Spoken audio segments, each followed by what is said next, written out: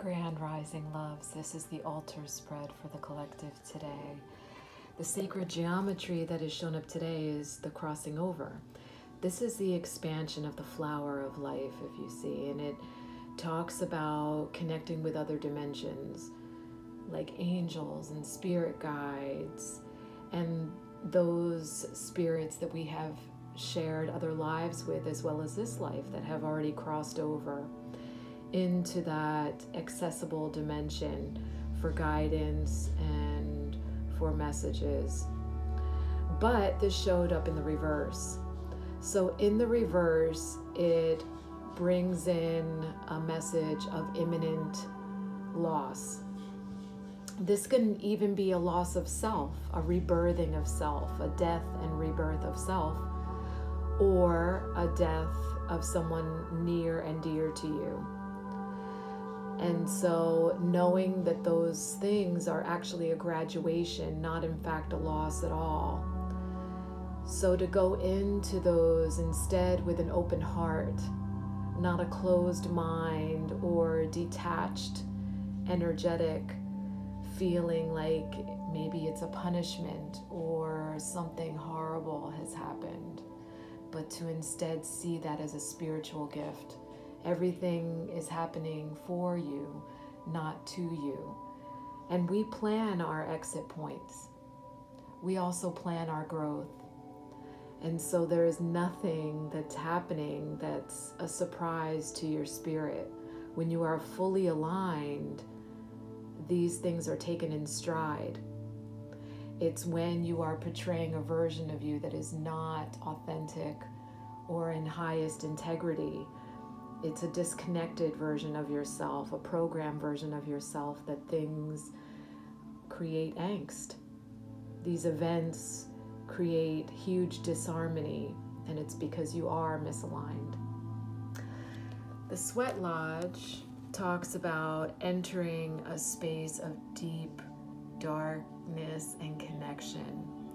The Sweat Lodge um, represents actually the wound of mother and so when you enter a sweat, for those of you who have never had that experience, it is intensely hot and lava rocks are brought in, are heated first in a fire and brought into the lodge. And you are brought to this brink of physical destruction. But what it does is it completely amplifies your spirit so that you can rebirth. So, crawling out of the lodge at the end is a rebirthing. It's like coming out of the wound of mother into a space of life that's rebirthing yourself. And you do get to see those things that are no longer serving you so they can be burned off in the lodge. It's a beautiful process. But the sweat lodge showing up is telling you to do that to bring yourself into those deeper spaces and see what needs to die or be released to move into this next phase.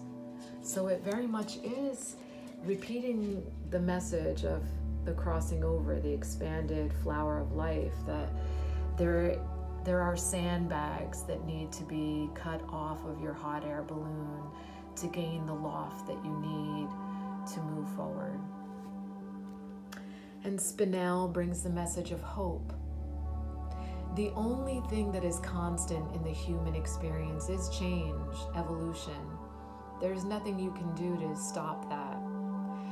But there is something you can do to change the way you react to change. And like I said, there is nothing that's a surprise to your spirit. You have chosen everything before you came here.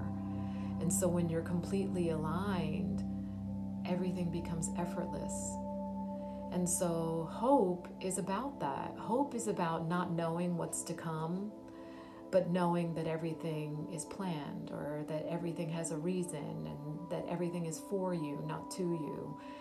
And so, I love this message from Spinel having hope that you can move past any rough spot and know that you're going to come out into that beautiful light because everything is meant to be.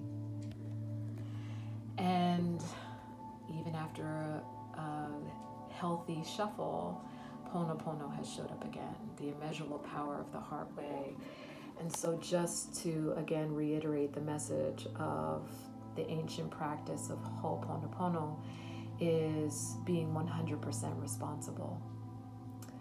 This is about accountability, responsibility, and righting wrongs, setting everything back to zero taking everything back to the original state before creation, before we created our reality, because everything that shows up was created by you.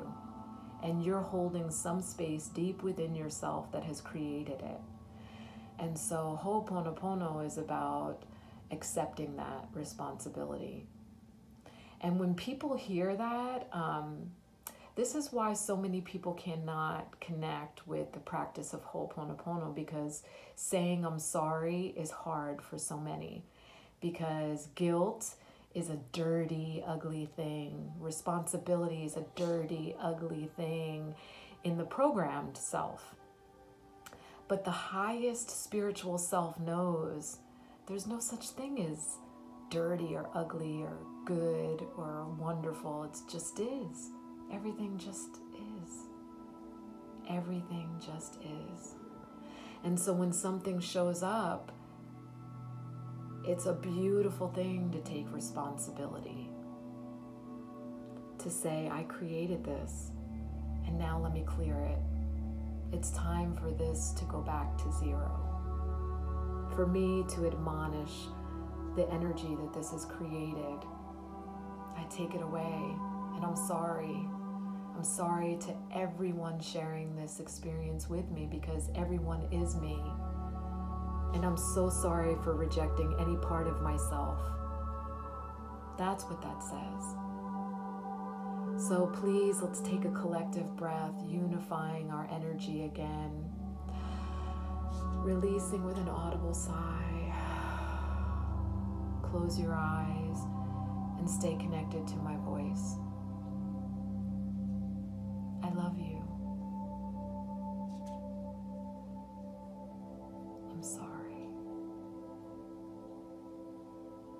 Please forgive me.